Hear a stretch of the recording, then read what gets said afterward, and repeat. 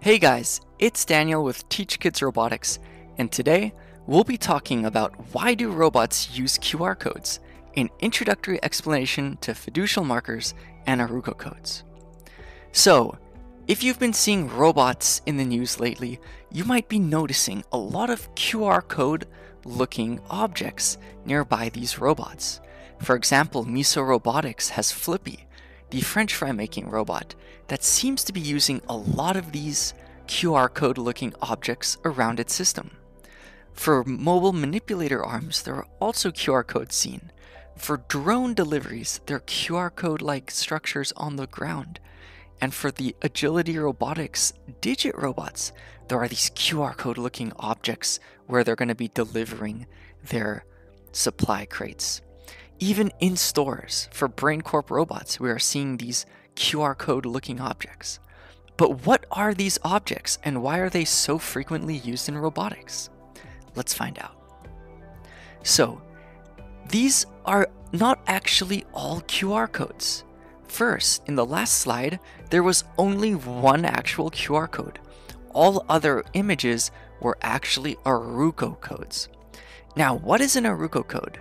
First, the name is derived from the University of Cordoba in Spain, where the Aruco library was initially developed. The C++ library allows detecting and recognizing square markers, also known as Aruco markers or Aruco codes, in images and videos. Now, these Aruco codes are a specific type of fiducial marker, which in robotics is primarily used to provide reference points that robots can use to determine their position and orientation relative to the markers and to calibrate cameras. Now, we're going to learn about why this is important in robotics in knowing where you are, knowing your pose, being able to localize yourself. So, let's first talk about properties of fiducial markers. There are different fiducial markers that exist, but Aruco are commonly used in industry. Now, what makes one of these markers important is that the appearance should be unique in all orientations. For an example, consider if there was just a 2x2 grid below and we used a black square to make a unique marker. If we had two such markers labeled 1 and 2 and rotated them 90 degrees clockwise, now our marker 2 looks like marker 1 and marker 1 looks like marker 2.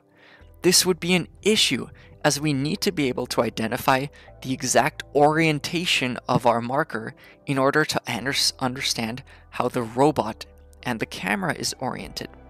This is why all Aruco codes are actually uniquely shaped such that regardless of orientation, they have a unique visual signature. But what are Aruco codes used for? Why is it important to have that unique visual signature? So the distinctive feature of Aruco codes is that each code contains that unique pattern that can be easily identified by computer vision algorithms. And by being easily identifiable, it means it doesn't take a lot of computing power in order to identify these objects within the image and allows us to identify them quickly. This allows the robots or other devices equipped with cameras to accurately determine the pose, the position, and orientation of the camera, of the Aruco code relative to the camera. By detecting multiple Aruco codes within the camera's field of view, the robot can then localize itself within the environment by calculating the camera position relative to the codes. And this act of localization means the robot knows where it actually is in space relative to the markers that it saw. In the image below, you see some of these Aruco codes printed out on a table. And actually we can see with the red, green, and blue lines the relative axes by which the orientation is adjusted for the codes. And by looking at the degree differences in orientation of these codes, we can build an understanding of the angle at which the camera is looking at these codes. And this in turn tells us where the robot that is looking at these codes is in space. So how is this done exactly? By using the geometry and the physics that we understand in photography and computer vision, consider you were looking at a chessboard straight on. It would appear flat, a two dimensional grid. But now, if you were to look at it with a camera that was offset at an angle from either the left or right side, suddenly this flat 2D grid appears to you at an angle, at a slight diagonal. Now, the reason for this is due to how the angle of the camera is now adjusted relative to the angle of the flat checkerboard. Because we know the geometric distortion expected, and we know the original image, for example, we know what a checkerboard looks like looking at it straight on, or we know what the Aruco marker looks like when we look at it straight on, we can use this geometric distortion to actually calculate the angle that the camera is looking at the given image. This angle in turn allows us to know where the camera and where the robot is relative to the given Aruco code which is useful again in knowing where a robot is and localizing a robot.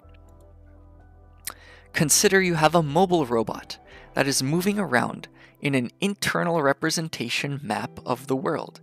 In this picture below, you can see a mobile robot in a hallway, the real world, and you can see the 2D representation, the cost map that it has, where it has the entire map represented with space that it believes it can move in and space that it is bounded between. How does the robot know if it were to just turn on in this hallway, where in the hallway it is? It would need some kind of proof, some kind of confidence in where it was in its map. This is another place where Ruko codes can be useful. By placing an object in the environment in the map that guarantees it's only located at a specific spot, if the robot sees this code, then it knows in its entire map where it is in space, and it allows itself to localize, to know where it is in real life and where it is in its map accurately. So, how are these codes actually detected from a computer vision perspective?